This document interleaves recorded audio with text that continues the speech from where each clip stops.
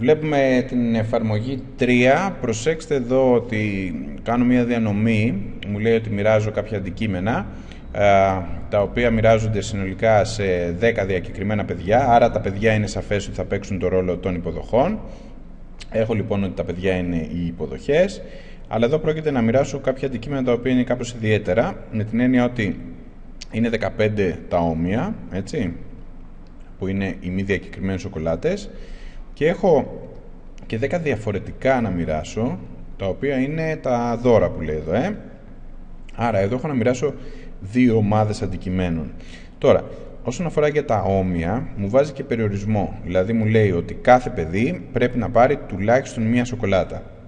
Άρα εδώ έχω ένα πρόβλημα που μπλέκει δύο κατηγορίες προβλημάτων. Η μία κατηγορία είναι ότι πρέπει να μοιράσω κάποια όμοια με κάποιο περιορισμό, έτσι, ενώ πρέπει να μοιράσω ταυτόχρονα και κάποια διαφορετικά, αυτά χωρίς περιορισμό. Άρα καταλαβαίνω ότι κάνω δύο μοιράσματα, θα πάω να μοιράσω πρώτα τα όμοια, κάνω τη διανομή των ομοίων, προσοχή, θα τα γράφουμε αυτά έτσι αναλυτικά, δηλαδή δίνω κανονικά μία σοκολάτα σε κάθε παιδί για να ικανοποιήσω τον περιορισμό, που λέει ότι πρέπει να πάρει το κάθε παιδί τουλάχιστον μία σοκολάτα. Δίνω μία σοκολάτα σε κάθε παιδί για να ικανοποιήσω τον περιορισμό. Το σημειώνω. Έτσι. Μετά, προσοχή. Αυτή τη στιγμή πόσες σοκολάτες έδωσα, αφού τα παιδιά είναι 10, σημειώνω ότι έδωσα 10 σοκολάτες. Έτσι, 10 σοκολάτες. Τώρα, τι έχει απομείνει, απομένουν 5 σοκολάτες, οι οποίες μπορούν να πάνε να τις πάρει όποιος θέλει. Απομένουν λοιπόν, σημειώνω 5 σοκολάτες προς διανομή, σημειώνω,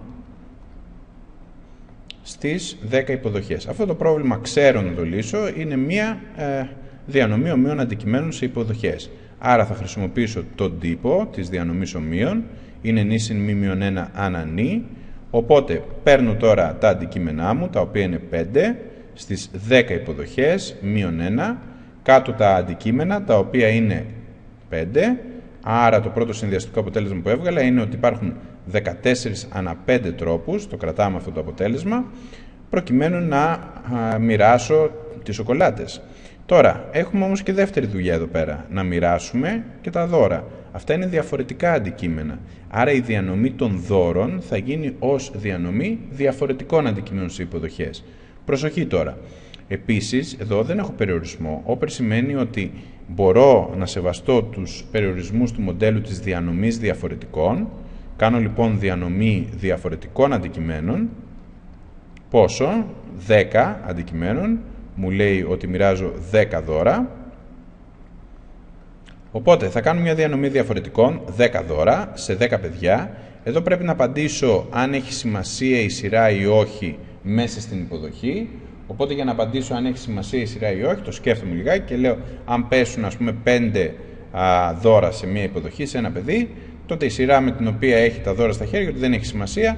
Αυτό που έχει σημασία είναι ποια δώρα έχει πάρει. Άρα μιλάω για μια διανομή διαφορετικών χωρίς σειρά στις υποδοχές.